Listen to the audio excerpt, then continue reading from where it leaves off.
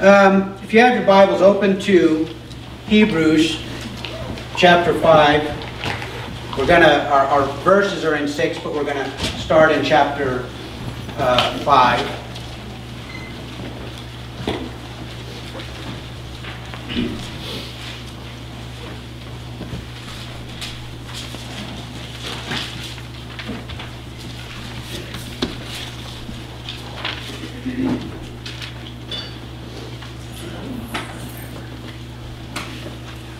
I got in a little bit of trouble last week because I don't very often let Christy look over my notes before I speak.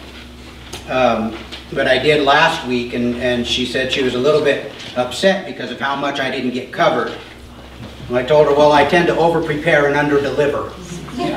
But if I, if I delivered everything that I have in my notes, um, you would never eat lunch. so if you have any questions, about anything that I've spoken on or something that I didn't quite wrap up, come talk to me. You're more than welcome to look at my notes. I've changed the way I do my notes. I used to just do them in outline form with key thoughts and scriptures. Now I actually type them out so that you can actually read them and they make sense. At least they make sense to me. Okay? Um, we are wrapping up, we're coming to the end of this series on the elementary doctrines of Christ, uh, which was tagged onto the, the disciples, discipleship series. Um, I was hoping, my plan was to finish today with eternal judgment and then take next week and, and wrap it all up into one ball for you to take home. Uh, but looking at the notes, there's no way I can wrap all of this up today.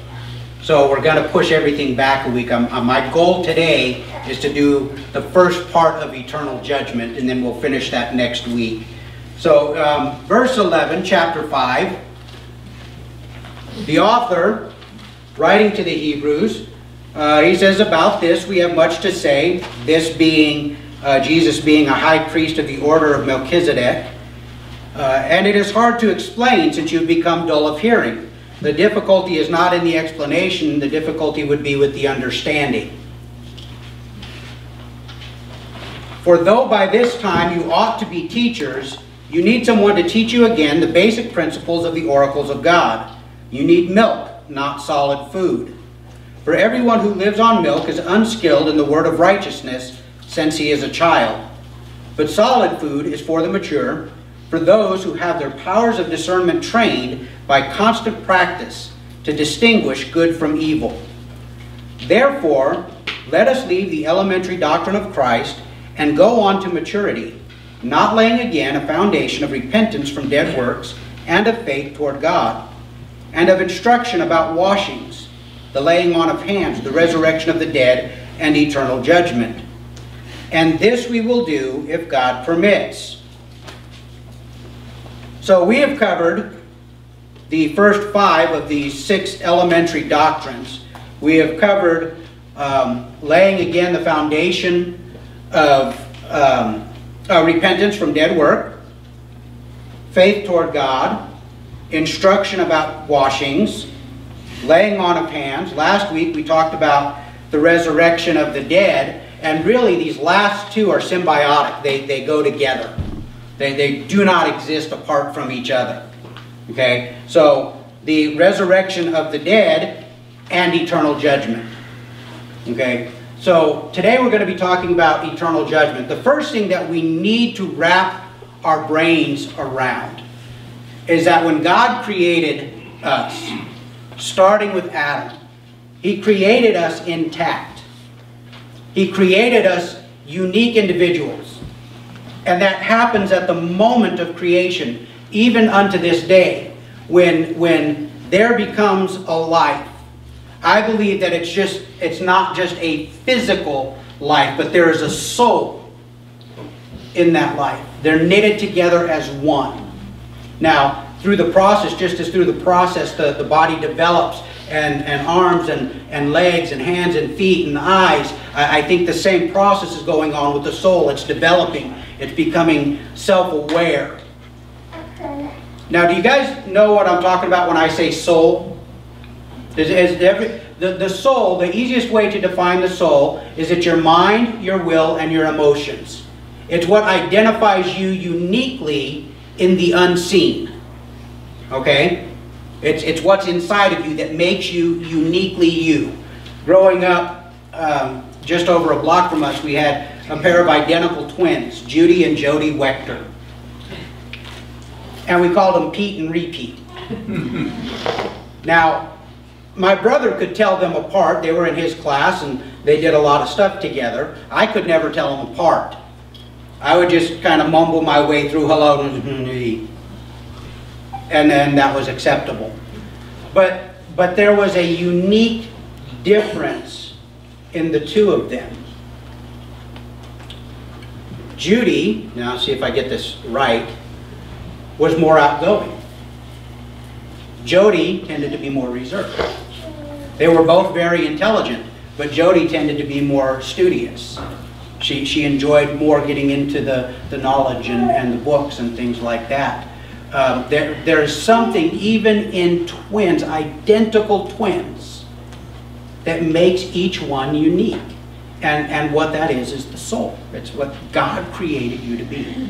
Okay? So when we hold on to that, that God created us uniquely, body, soul, and spirit. Now, I, I had somebody come and talk to me. Thank you, Dennis.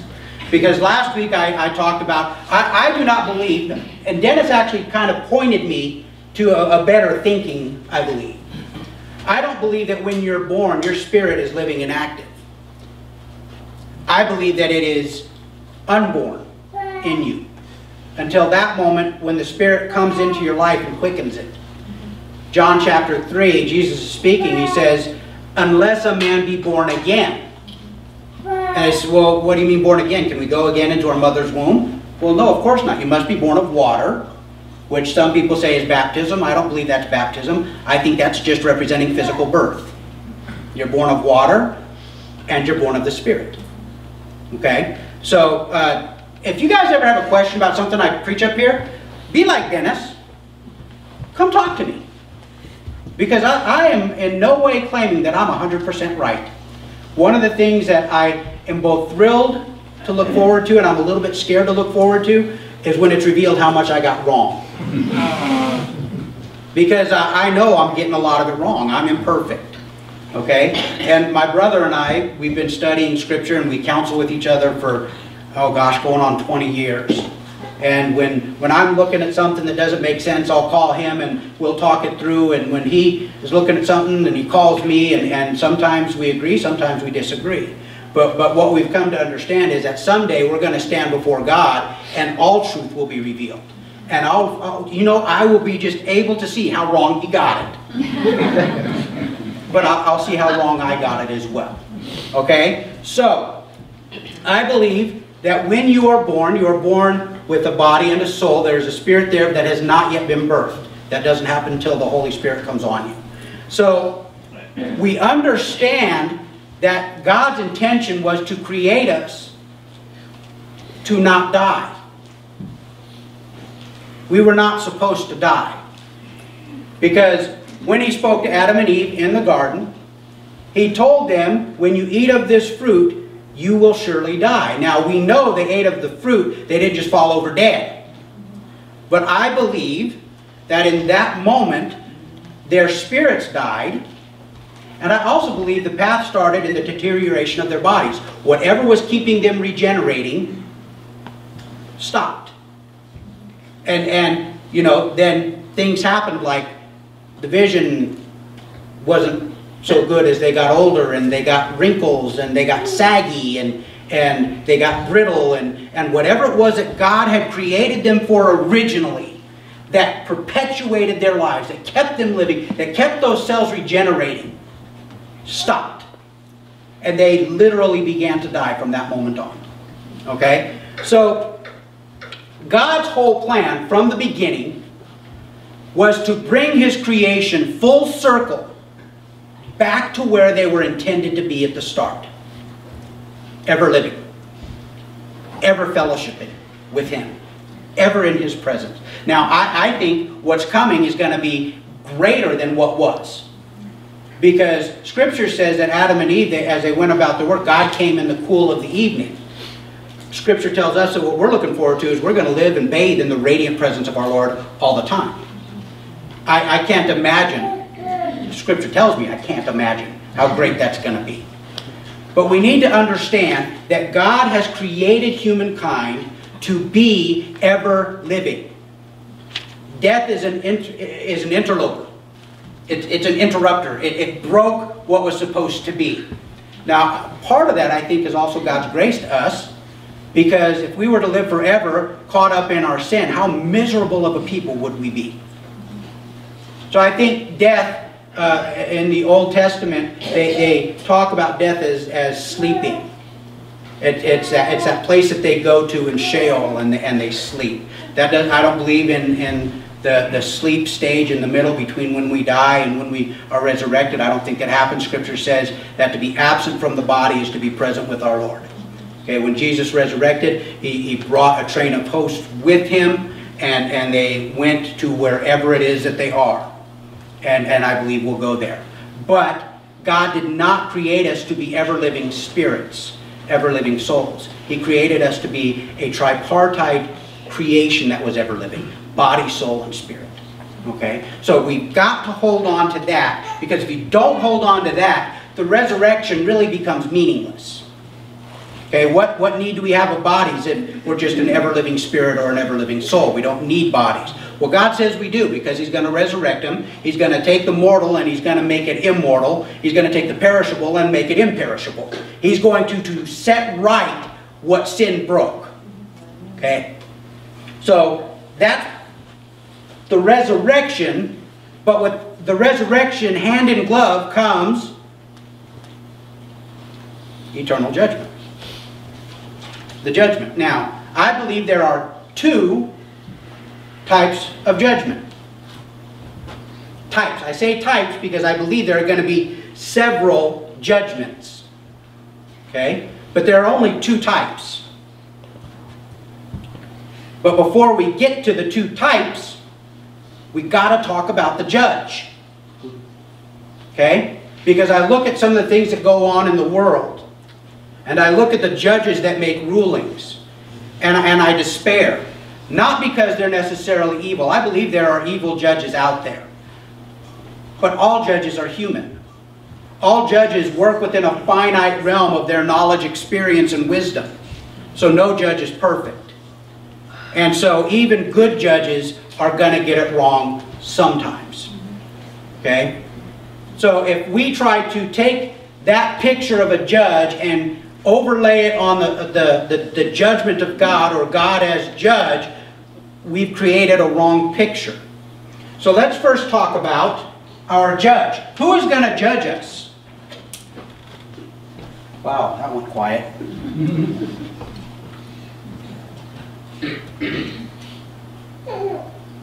Who's going to judge us? God. God. Through God the Father through God the Son. Okay? Let's look at some of the attributes of our judge. Matthew 5.48 says, You therefore must be perfect as your heavenly Father is perfect. So he's the perfect judge. He's without flaw. He never gives a wrong verdict. First John tells us he has no sin. First John chapter 3 verse 5. You know that he appeared in order to take away sins, and in him there was no sin. There is no sin. Okay? So not only is he perfect, he is sinless. So he's not somebody that's sitting up there like the judges today. We have judges today that are making judgments against people for crimes that they themselves are guilty of. But our judge is not going to be guilty of anything. And so when he makes a judgment, he you know it's going to be a right judgment because he's perfect and he doesn't sin. Okay? So he's perfect, he doesn't sin. Three, he is impartial. He does not show favoritism. He cannot be bribed. What do you have that you can offer him? Wow, I've never seen one of those before. He created everything. It's all his. Acts chapter 10, verse 34, Peter is speaking. He says, So Peter opened his mouth and said, Truly, I understand that God shows no partiality. Now, this is, this is huge because this chapter is when Peter is called to go and minister to the Gentiles. Up to this point, even throughout the ministry of Jesus, the whole focus of the ministry has been to the Jews, to the fulfillment of the promise that was given directly to the Jews and via the Jews unto us. But up to this point, the whole focus has been the Jews. Remember the, the Syrophoenician woman coming to Jesus and asking him to heal her daughter, and he says, Well, it's not right to give to the dogs what is intended for the children. My, my ministry is to the Jews. And she says, Yes, but even the, the dogs get to lick the crumbs that fall from the table. And, and to me, that's audacious faith right there, isn't it? I mean, that's, that's someone she knows that he can heal her daughter. And she's not going to take no for an answer. And she, she exhibits audacious faith. And Jesus looks at her and says, Your faith has done this. Your daughter as well. Okay? The centurion. Now it says that he was a believer of some measure because he, he helped to build the synagogue. They, they, the Jews told him, you know, he is a man upright. And, and he comes to Jesus, and, and the focus of Jesus' ministry is supposed to be the Jews, but he steps outside of that. Why? Because of the centurion's faith. The centurion tells him, I'm not worthy to have you come under my house, but I understand authority. I tell this man to go, and he goes, and I tell this man to come, and he comes. And I understand that you have the authority to do this. And Jesus says, I have not seen such faith in all of Israel. Okay? But the focus, the majority of what Jesus was doing was unto the Jews, because salvation is to the Jews first, and then to the Gentiles. Why? God didn't tell me why. He just said that's the way it is. Uh, so, okay, I accept it. Now, Peter, sitting on the rooftop, has a vision. And the sheep comes down with all the animals, and the boy says, Take and eat. And he says, Lord, they're unclean. I've never eaten anything unclean. I, I wouldn't do that. And so the, the sheet is lifted up, and it comes down three times. And, and Peter catches a clue. There's a knock at the door, and they go and they say, uh, you know, we need you to come and, and speak here. And, and, and Peter understands that this whole vision, this whole thing was done to get it through his thick skull. That God's salvation was intended for the entire populace of the world. That that was God's plan. Because when Adam and Eve sinned, they sinned for all people, didn't they? Because everybody that came out of them is all of us. So God's plan was to work it back in. He was going to speak to and use the Jews and through them bless the world. If you, let's look at it another way. When the temple was in use and it was being used rightly, you could not walk in with your fork and use your fork in the temple for any purposes. Why? Well, because your fork is not holy. It has not been sanctified. It has not been ritually cleansed. It has not been made holy. But the, the utensils that were in the temple could be used. Why? Because they were made holy. Well, because they were gold? No, because your fork could be gold too. Well, is it because they were of unique design? No. They were designed to be functional. And yet, that fork taken out of the temple is exactly like any other fork. God chose the Jews to bless first, that they might be priests, a nation of priests, that they might be able to take God into the world. Okay? So, you can look at it this way. The Jews for a time were those holy utensils that were in the temple. The veil has been rent, and the Spirit of God comes out, and it makes every utensil that desires, that comes to Him, holy, righteous, fit for use in the service of the King, of the, the God that we serve. Okay? So, we know that God is impartial. Uh, Paul writes in Galatians chapter 3, verse 28, There is neither Jew nor Greek. There is neither slave nor free. There is no male and female, for you are all one in Christ Jesus. So our judge is impartial. Now, what, what's interesting here is, did you catch the phrase at the end there? What is it that, that, that unites everybody? I heard it. You whispered. Say it loud. Jesus. Jesus.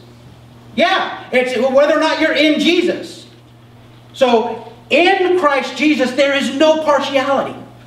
God doesn't go, well, well, Glenn, I really prefer people with hair. So, you know, you're out. In Christ Jesus, we are the same. Now, we're called to different positions in the body, but we are all inheritors of all that Christ Jesus has given.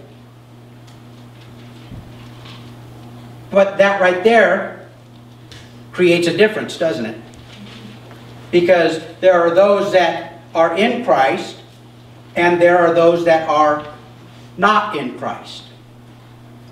And see, this is where the two judgments come in. Those in Christ will be judged at the judgment seat of Christ. And we're going to go into all of these later, so don't freak out because I'm going to explain what these are. Those outside the body of Christ are going to be judged at the great white throne. Okay? Now, in each case, they're going to be judged on what? Works. What they did. What they did. But what makes the difference between which judgment you face? That's right. Whether or not your name is in the Lamb's Book of Life. Okay? So you're going to be judged on your works whether you are saved or unsaved. But if you're saved, you're judged unto reward and if you're not saved, you're judged unto punishment.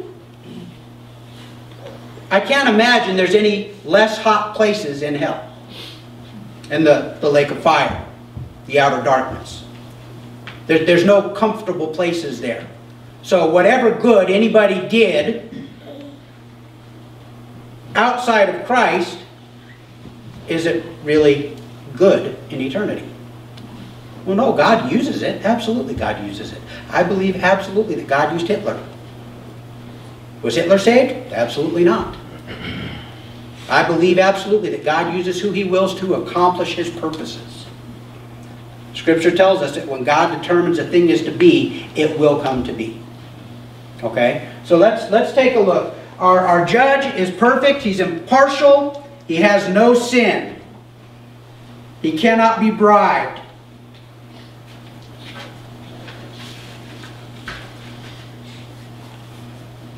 Scripture tells us that Jesus, specifically of the Godhead, will be the judge. John 5, 22, Jesus is speaking to the disciples. He says, For the Father judges no one, but has given all judgment to the Son.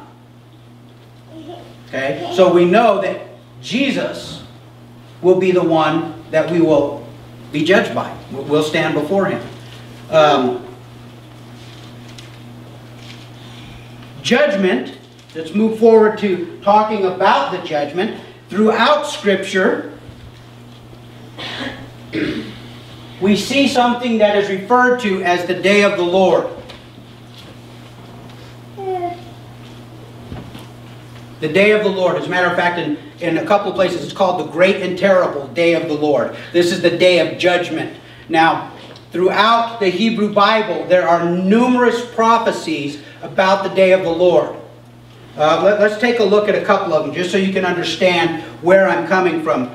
Um, Isaiah chapter 13 verse 6 says, Wail for the day of the Lord is near. As destruction from the Almighty it will come. Ezekiel chapter 30 verses 2 and 3. Son of man, prophesy and say, Thus says the Lord, Wail, alas for the day, for the day is near, the day of the Lord is near. It will be a day of clouds, a time of doom for the nations. Joel chapter 2, verse 1 says, Blow a trumpet in Zion, sound an alarm on my holy mountain. Let all the inhabitants of the land tremble, for the day of the Lord is coming, it is near. One last reference, Zephaniah 1 7. Be silent before the Lord God, for the day of the Lord is near. The Lord has prepared a sacrifice this period, this day of the Lord. Let's get some descriptions of what this is going to be like. Zephaniah chapter 1 tells us a day of wrath is that day. A day of distress and anguish. A day of ruin and devastation. A day of darkness and gloom. A day of clouds and thick darkness. Some people read these passages and they say, well, those were fulfilled.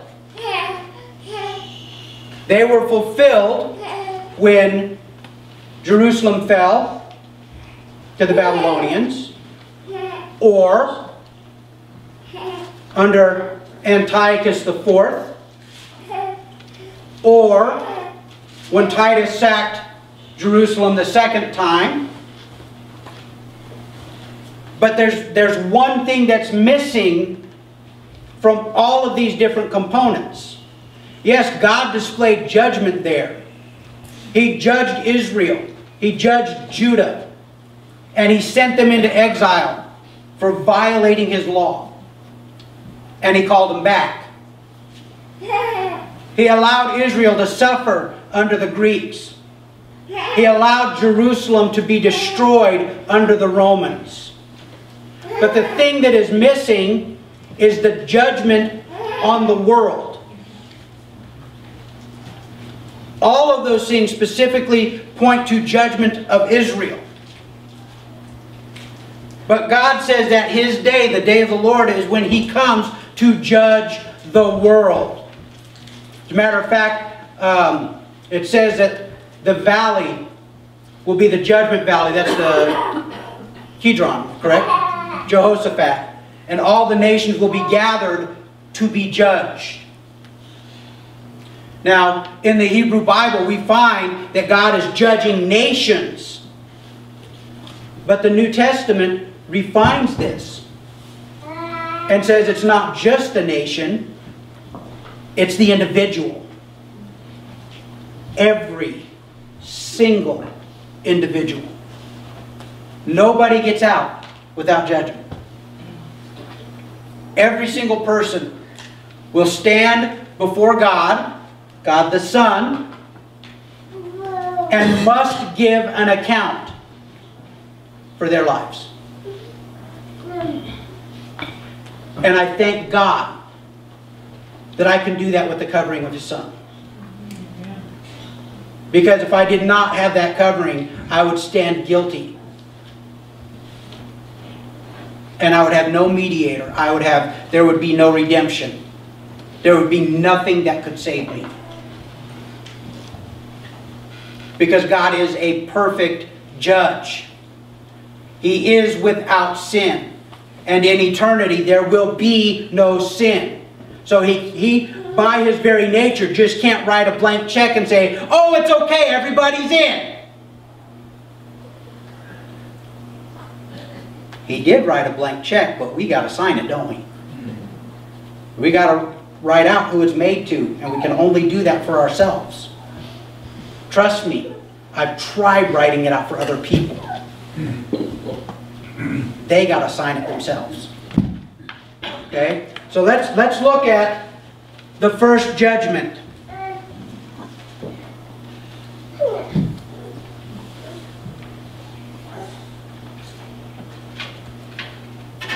This is a judgment based on works. But the group that it is drawn from are those that have been saved. This is not a judgment to determine where you will spend eternity. If you are in this judgment, that has already taken place. That's when you sign the check. As soon as you accept that gift of grace, as soon as the Spirit of God comes on you and marks you as one of His, that's already decided. Your eternity is decided from that point. Okay? You're still going to screw up.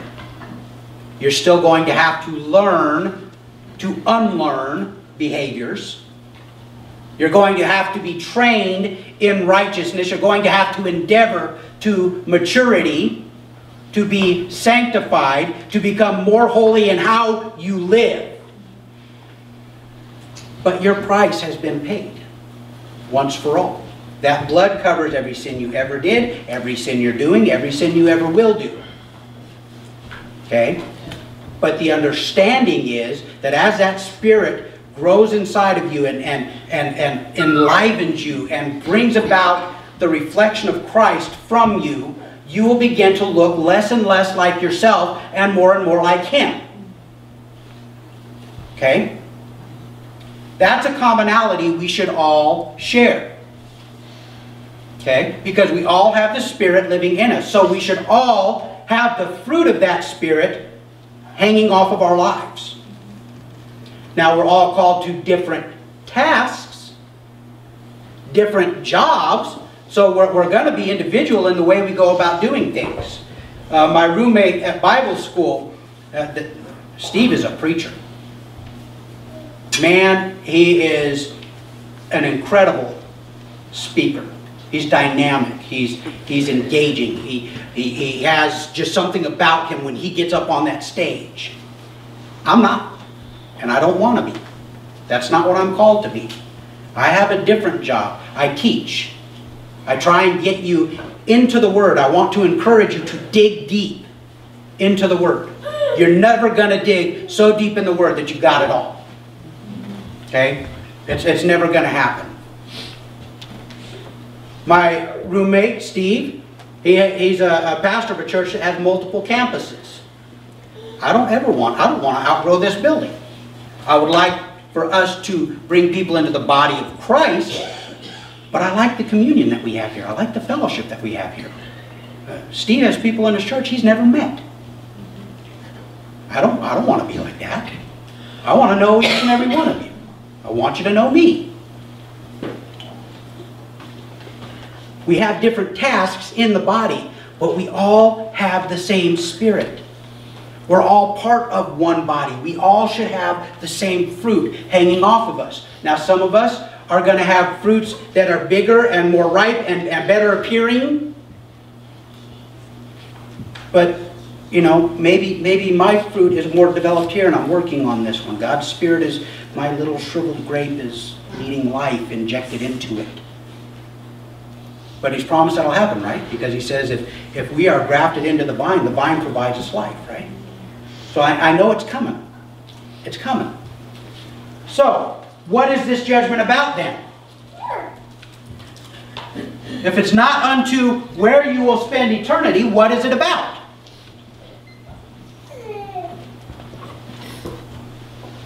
Oh, somebody knows. Don't be shy. Crowns. Sorry? Crowns. Crowns. Awesome. You know how many crowns I found in Scripture? How many crowns are there in Scripture that we that we know of? I I know what I found. There might be more. I found five different crowns. Five different crowns. Let, let, us look real quick, okay? Uh, I'm just going to tell you what they are. I'm giving you the reference. You can look them up later. First, there is the incorruptible crown. Incorruptible. It cannot be blemished. 1 Corinthians chapter 9, verse 25. The incorruptible crown. Second, the crown of rejoicing.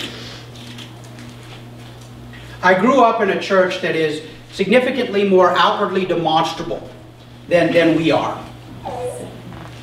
They're, they're more physically engaged in worship than we are.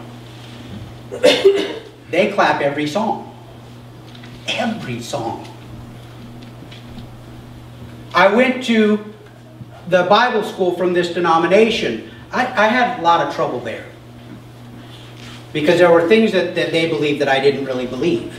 But, but they, their, their worship, I grew up across the street from a Baptist, a Baptist church in San Diego. It was a black church. Those people know how to worship. Oh Lord. We would go to church, and as we're driving out the church, we can hear the organ playing. We're going off to go to our church. When we come home, I don't know if they ever stopped. Because it sounds to me like they're still doing the same thing, going on and on. We've eaten lunch, and we're sitting out, my brothers and sisters, we sit out in the front porch and listen. They're still going. The church that I was a part of, they really encourage uh, uh, that, that you, you show your worship. I, I don't believe that. I don't believe that there will always be an outward expression. I believe that there will sometimes be. But, but I'm an inward person. When I worship God, I, I don't, I want to tune you guys out. I hope you tune me out too. Because man, I really mess up the words. But when I'm worshiping, I want it to be me and God. Well, so I go to this, this Bible school and, and everybody's excited and they're, they're playing music and it's always upbeat and, and, and it's loud and, and people bounce and jiggle and sway and dance. this white boy don't dance. Okay? I got caught up in the excitement at this, this first night I went to this church. Uh, I went, I got caught up in the excitement. I stepped out to dance and I ran headlong into one of the older ladies at the school. I almost killed her. God told me to put my butt back where it belonged. Your, your job is to stay here and not move. Okay, some of us are anchors, some of us are willows. Okay, I'm not a willow, I'm an anchor. Okay? Poor Marcia, I almost killed her because she was doing, uh, she's a willow. Man, she was swaying and dancing and moving, and, and I stepped out right into her.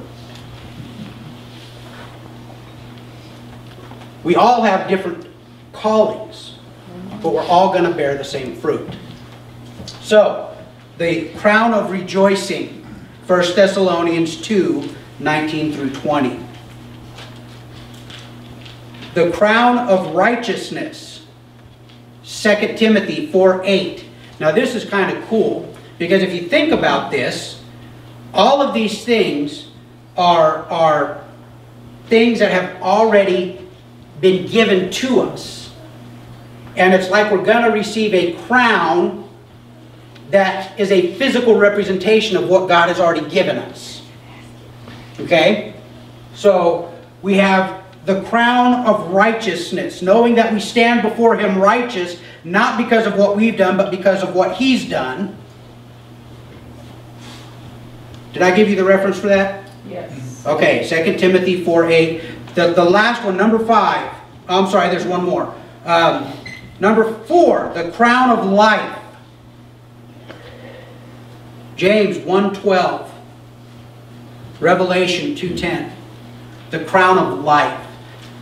I, I can't even wrap my head around what that would look like.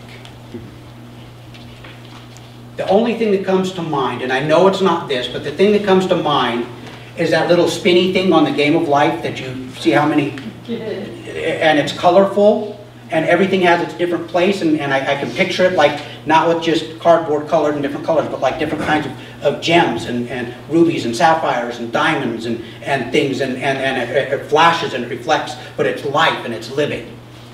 Okay? But that also has been given to us. Okay? Because we have Jesus. He's the living water. All right? The, the last one. The last one. The crown of glory. 1 Peter 5 4, the crown of glory. Now these are, uh, if somebody knows if other ones, come talk to me after service. Uh, I just kind of glanced through real quickly as I was looking at these things, and, and these were five that I came up with. If you find others, let me know, because I want, I want to dig deeper into this later. I want to get an idea what, what's going on with all of these different crowns. Now, when we receive these crowns, what are we going to do with it? We're going to give it to Jesus. Actually, Scripture doesn't say that. Did you know that? Actually, the Scripture tells us about the 24 elders that are around the throne. And as the, the, the spirits give praise, they will bow down, they will take their crowns, and they will lay them at the feet of the throne. Now, I believe, this is, this is one of those things you can differ with, that's okay. I believe that it's 24 because it's 12 and 12. I believe the first 12 represents the 12 tribes of Israel. Thus, all of Israel. I believe the second 12 represents the apostles. Thus representing their call to all the world. So the, the, to the Jew first, and then to the Gentile. That's, that's just what I think. Okay?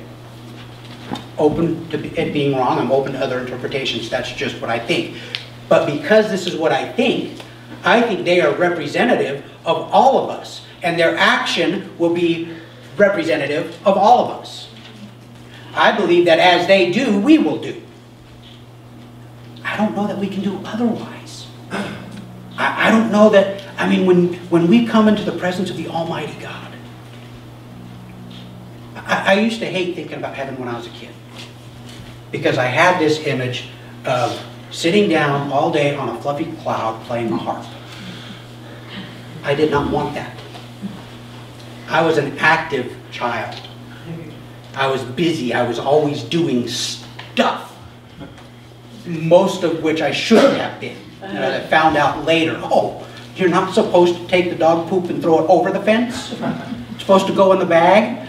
Our neighbors had a Doberman. We had a St. Bernard. Oh, That was a lot of manure going back and forth over the fence.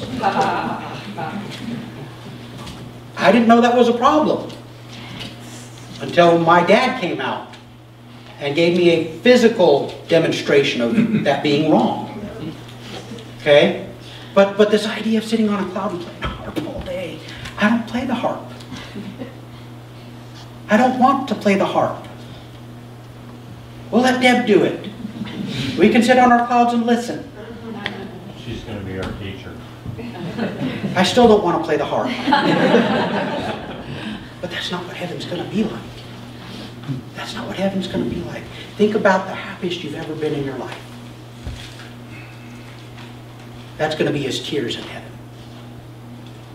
Because we will have a joy that we cannot express in this life. We will have a satisfaction. You will not want anything. I don't think it's because you're going to have it. I think because you're going to see how valueless it is compared to what's there. It's not like you're going to get to heaven and go, oh, I've got the new Xbox X, whatever. Because that's going to be irrelevant. You're not going to get to heaven and, and want a bigger house because you will have no want. Everything will satisfy.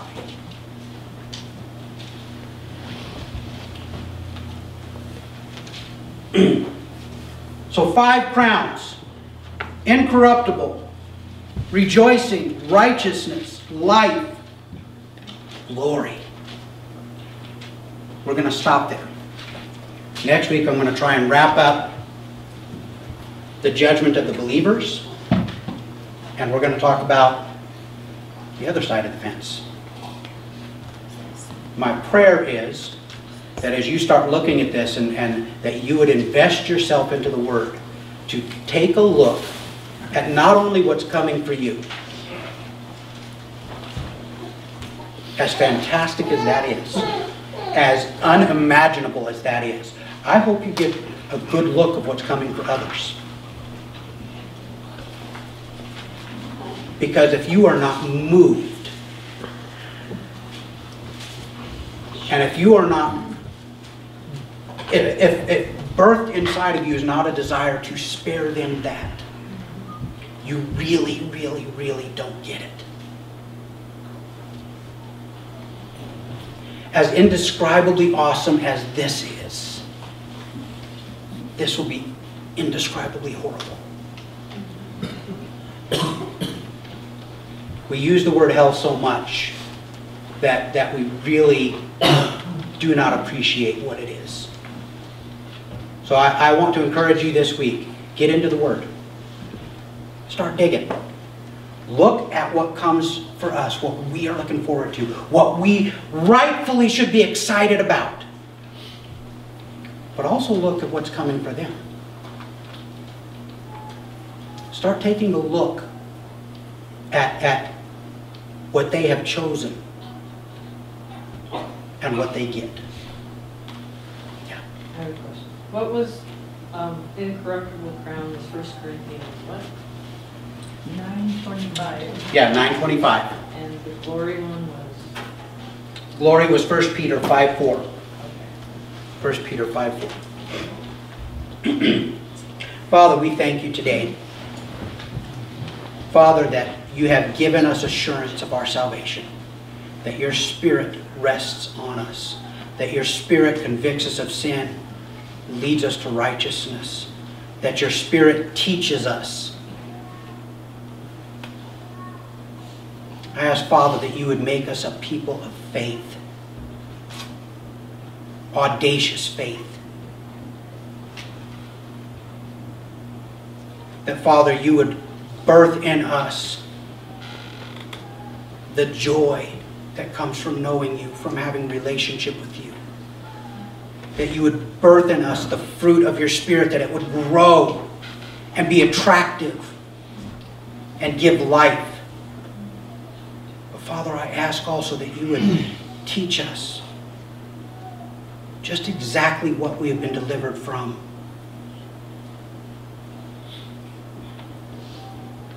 What eternity you have spared us. Birth in us, Father, a desperation for the lost. Birth in us, Father, a yearning to be those workers in the field, that the full harvest might be brought in.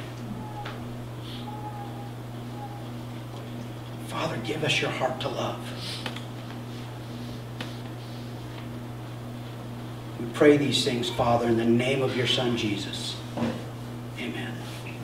Thank you.